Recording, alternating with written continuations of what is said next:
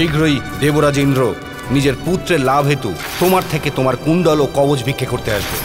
যতক্ষণ তুমি নিজের কবচের সাথে আমার আগে দাঁড়িয়ে থাকবে, ততক্ষণ আমার মৃত্যু অসম্ভব। তোমার এই কবচের কারণে তুমি অপরাজেয় মিত্র, কিন্তু আমি অমর। তোমার দিব্য কবচের মাহাত্ম যতটা তোমার কাছে, তা অপেক্ষা অধিক মাহাত্ম আমার কাছে।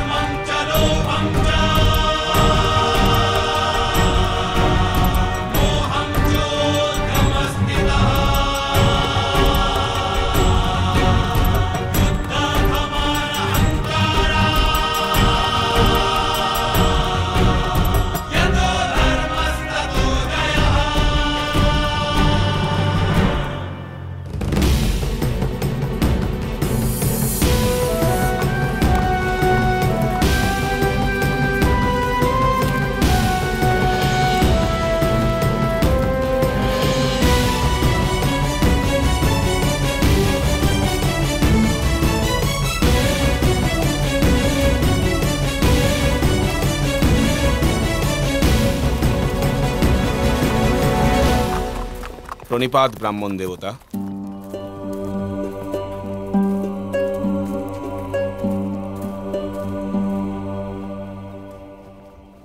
আমি ভিক্ষুক। এমন কিছু বস্তু পাওয়ার জন্য পরিব্রাজন করছি। যা অমৃত, আবার অমৃত।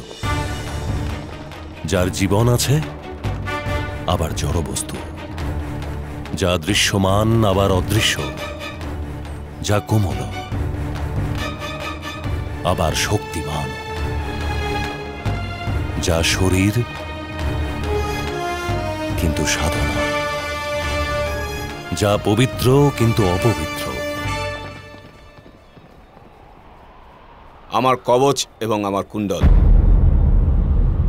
ঈশ্বর প্রাপ্ত তাই পবিত্র, কিন্তু আমার দেহের সঙ্গে যুক্ত তাই অপবিত্র। দৃশ্যমান আবার অদৃশ্য।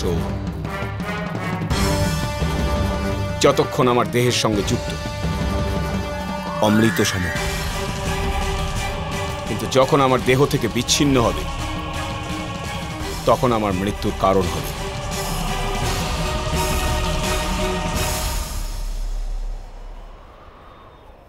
এটাই ভিক্ষা করতে এসেছেন তো? দেবরাজ ইন্দ্র।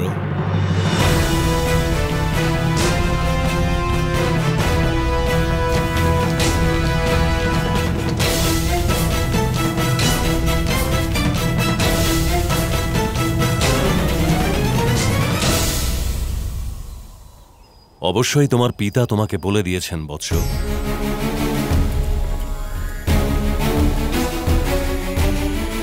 যে কাল প্রাতকালে আমি তোমার থেকে তোমার কবচ কুণ্ডল চেয়ে নেব।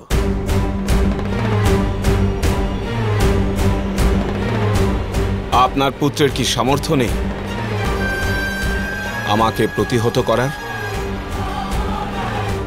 সে কি ভয় ভীত আমার কবচ কুণ্ডল দ্বারা? পুত্রের রক্ষার উপায় অন্বেষণ করা পিতার অধিকার। এর সাথে আমার পুত্রের ভয়ের কোনো সম্পর্ক নেই।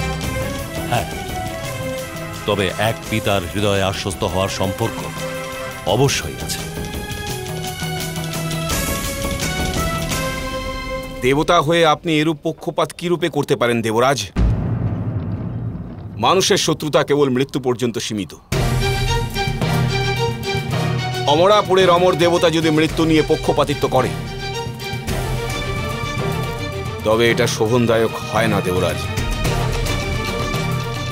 সমুদ্রের ঢেউ একে অপরের প্রতি স্পর্ধা দেখায়।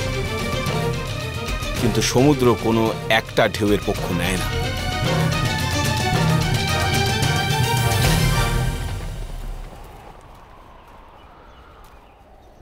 তোমার কি নিজের সামর্থ্যের ওপর বিশ্বাস নেই?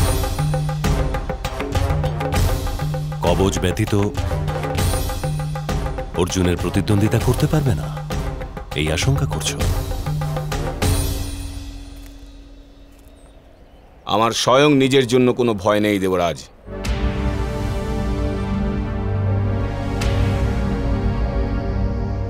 আমার পূর্ণ বিশ্বাস আছে। আমি অর্জুনকে অবশ্যই বধ করব।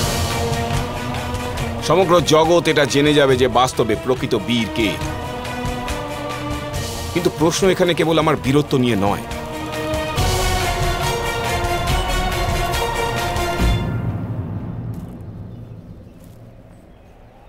আমার মিত্রের বিশ্বাসের প্রশ্ন। আমি প্রতিজ্ঞা করেছি আমি তাকে রক্ষা করব। তার বিজয় প্রাপ্তি ঘটাবো। কবজ নিয়ে। আপনি আমার মিত্রের সাথে অন্যায় করছেন। আমি আপনাকে অনুরোধ করছি। সিদ্ধান্ত তোমার।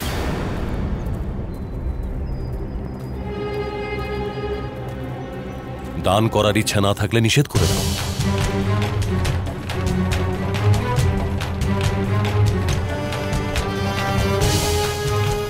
আর যদি নিষেধ করার সাহস না থাকে, তবে প্রাতকালে সরোবর তটে সূর্যকে অর্ঘ্য দান করতে শোনো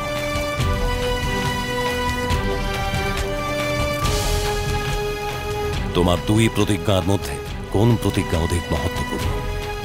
এই সিদ্ধান্ত তোমাকেই করতে হবে।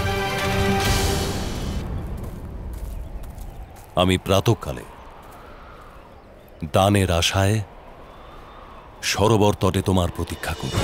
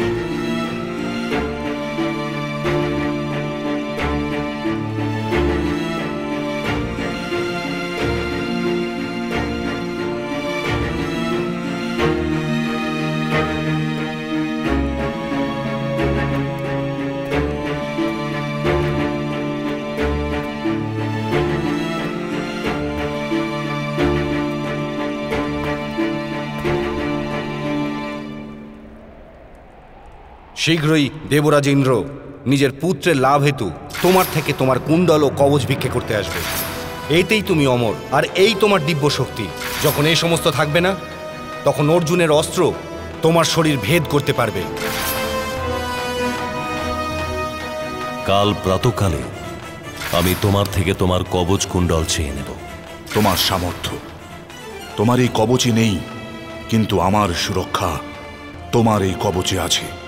যদি পাণ্ডবদের পক্ষ থেকে আমার ওপর কোনো অস্ত্র প্রহার করে, তো তোমার এই দিব্য কবচ দুর্গ হয়ে আমাকে রক্ষা করবে, মিত্র মিত্রকর্ণ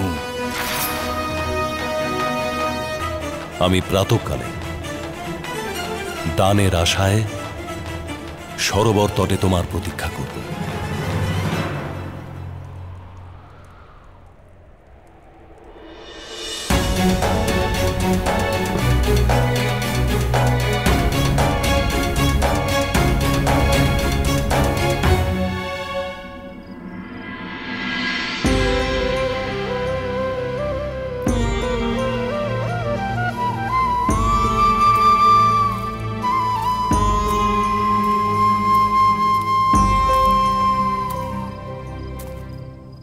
সূর্যোদয়ের সময় হয়ে গেছে, মাধব।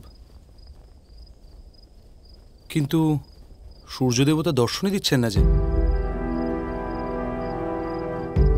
যুদ্ধ কেবল রণভূমিতে হয় না। কখনো কখনো হৃদয়েও যুদ্ধ হয়ে থাকে পার্থ। আর তখন হৃদয়ের অন্ধকার দূরীভূত হয় না। স্বয়ং ভগবান সূর্যদেবের অন্ধকারও দূর হয় না। কিন্তু সূর্য দেবতার হৃদয়ে কি হেতু যুদ্ধ হতে পারে, মাধব? যেখানে মোহ থাকে, সেখানে সংঘর্ষ হয়। আর যেখানে সংঘর্ষ হয়, সেখানে বিজয়ের আশা থাকে, সাফল্যের আশা থাকে। কিন্তু জীবন হোক বা যুদ্ধ সফলতা কেবল তিনটি অস্ত্র দ্বারা প্রাপ্ত করা যায়। ধর্ম, ধৈর্য আর সাহস। অন্যান্য সমস্ত অস্ত্র তো কেবল উপলক্ষ। আপনি একটি অস্ত্রের কথা ভুলে যাচ্ছেন, বাসুদেব।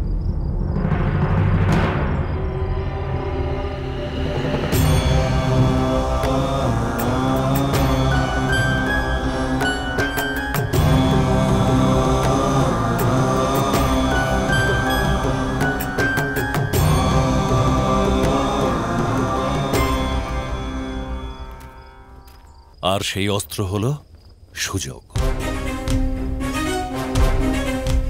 কারণ সুযোগ ব্যতীত ধর্মগুপ্ত থাকে। সাহস সুপ্ত থাকে। আর ধৈর্য লুপ্ত থাকে। পাণ্ডুপুত্র অর্জুনের কল্যাণ হোক। বাসুদেব কৃষ্ণকে প্রণিপাত। প্রণিপাত।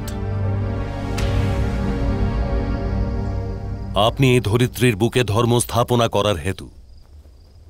যুদ্ধের রূপে যে কালযজ্ঞ আরম্ভ করেছেন, তাতে আমার মন অতি প্রসন্ন হয়েছে। যে যে মানুষ আপনাদের পক্ষ থেকে এই যুদ্ধে অংশগ্রহণ করবেন, তারা সৌভাগ্যশালী।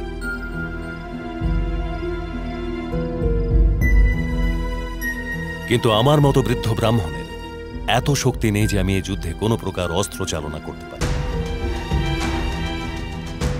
তবুও আমি এই যজ্ঞে আমার পক্ষ থেকে কোনো মূল্যবান আহুতি দেওয়ার ইচ্ছা রাখি। আপনার কাছে আমি অত্যন্ত কৃতজ্ঞ ব্রাহ্মণ দেবতা। কিন্তু যুদ্ধে কেবল রক্তের আহুতি দেওয়া হয়। উত্তম। তোমাকে রক্তের আহুতি দেব কুন্তি পুত্র অর্জুন। কিন্তু রক্তপাত রণক্ষেত্রে হয়। যুদ্ধের পূর্বে নয়। বিদ্যা প্রাপ্ত করে। মানুষ নিজের ভবিষ্যতের সুযোগ প্রশস্ত করে। যুদ্ধে যাতে রক্তপাত ঘটানো যায় আজ তারই সুযোগ সন্ধান অবশ্যই করে নেওয়া প্রয়োজন। ওটাই আমার যোগদান হবে। রক্তপাতের সুযোগ সন্ধান।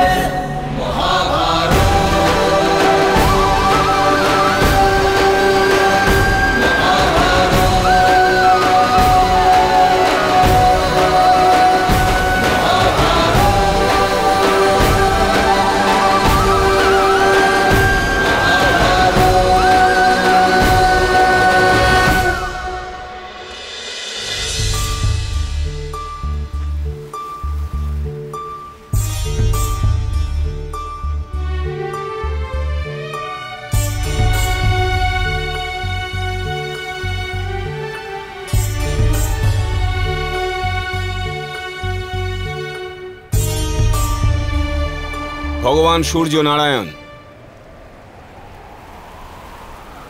আপনার উদয় হওয়ার সময় হয়ে গেছে।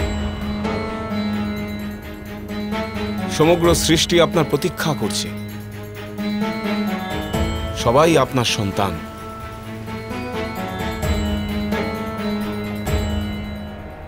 আপনার একজন পুত্রের লাভ হেতু। আপনার অন্য সন্তানদের নিজের জ্যোতি থেকে বঞ্চিত করবেন না। একবার পবনপুত্র আপনাকে মুখে প্রচ্ছন্ন করে রেখেছিল। তখন সমগ্র সৃষ্টির বিনাশ করতে যাচ্ছিল।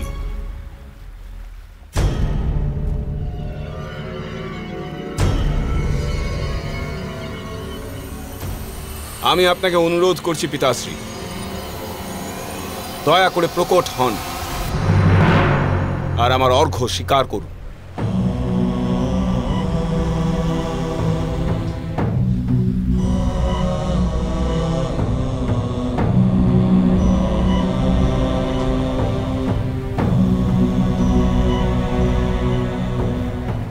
জীবনের দ্বিধা, দ্বন্দ্বে নিজের পুত্রকে স্বয়ং সিদ্ধান্ত নিতে দিন পিতাশ্রী। জীবনের কোনো না কোনো মোড়ে এসে প্রতিটি ব্যক্তিকে নিজের পিতার সুরক্ষা থেকে বঞ্চিত হতেই হয়। তখনই তার সামর্থ্যের বাস্তবিক পরীক্ষা হয় পিতাশ্রী। বৃক্ষ নিজের ফল ত্যাগ করে সৃষ্টির নবনির্মাণ হেতু।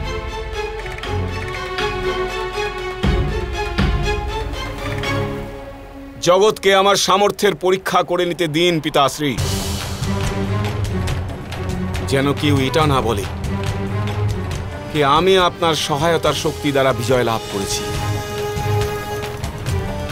যদি এইরূপ হয়, তবে আমার সমগ্র জীবন কালিমা লিপ্ত হবে। আমিও আপনার জ্যোতির অংশ, পিতাশ্রী। কলঙ্কের কালিমায় বেঁচে থাকার অপেক্ষা অধিক উত্তম হবে। যদি আমি সম্মানের সাথে মৃত্যুবরণ করি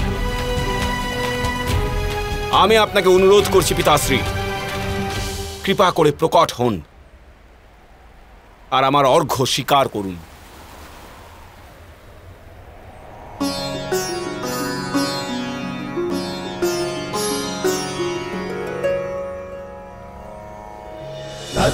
तत्सवितुर्वृणीमहे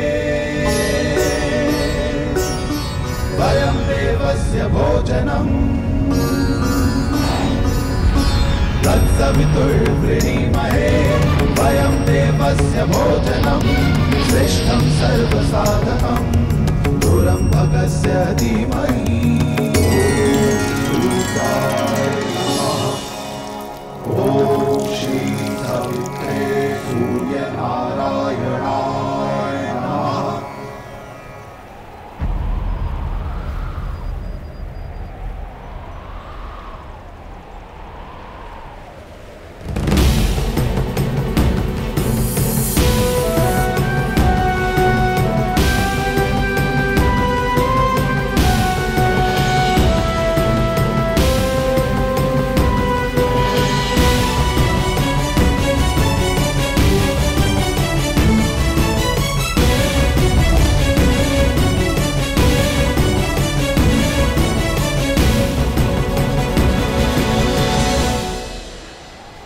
আপনার পুত্রের।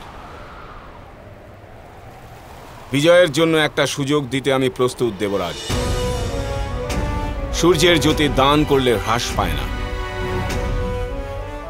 সূর্যপুত্রের সামর্থ্য হ্রাস পাবে না।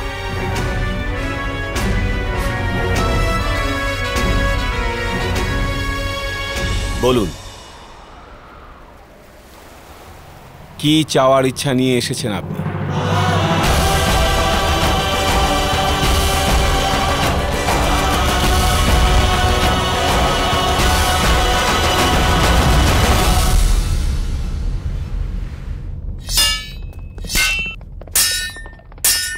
কিন্তু এরূপ কি দান গ্রহণ করবেন ওই ব্রাহ্মণ দেবতা? যা আমাকে সুযোগের সন্ধান দেবে? ছল বলো, কপট বলো অথবা সুযোগ। অস্থির মনকে স্থির করার জন্য এই সমস্ত প্রয়াস। বাস্তবে এসবের কোনো মূল্য নেই। যে স্থানে ধর্ম, ধৈর্য আর সাহস থাকে, সে স্থানে সাফল্য প্রাপ্তি হয়। আর সে স্থানে সাফল্য প্রাপ্তি হবেই পার্থ সুযোগ ব্যতীত ধর্ম থাকে গুপ্ত, সাহস থাকে সুপ্ত, আর ধৈর্য থাকে লুপ্ত। এরূপই বলেছিলেন তিনি। মিথ্যা সে ধর্ম, যার সুযোগের আবশ্যকতা থাকে। অসম্পূর্ণ সে সাহস, যা সুযোগ ব্যতীত জাগ্রত হয় না। ব্যর্থ সেই ধৈর্য, যা সাফল্যের পূর্বেই হারিয়ে যায়। তাহলে আপনি দান নিতে কেন স্বীকার করলেন মাধব? ওনার কথাগুলি যথার্থ ছিল পার্থ। এই ধর্মযুদ্ধে প্রত্যেক যোগদান অতি মূল্যবান।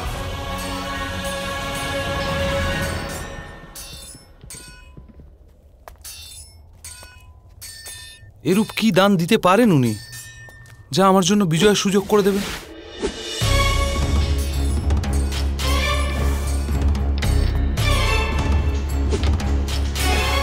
যুদ্ধে শত্রু দুর্বল হয়ে গেলে সেটাকেও সুযোগই বলে পার্থ।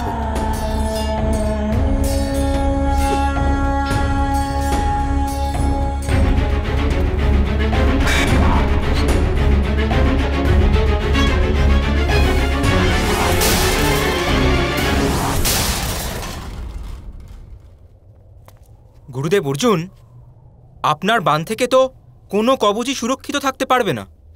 এর জন্যে তো দিব্য কবচই আবশ্যক।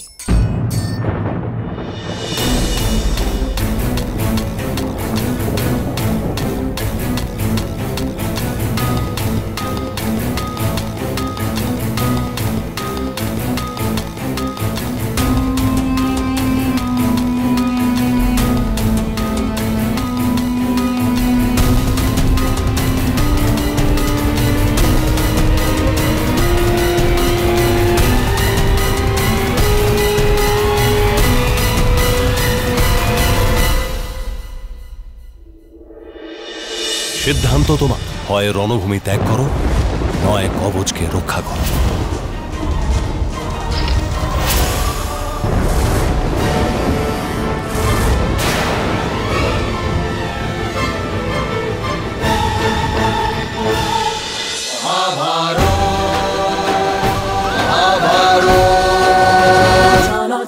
cholo, cholo, palta.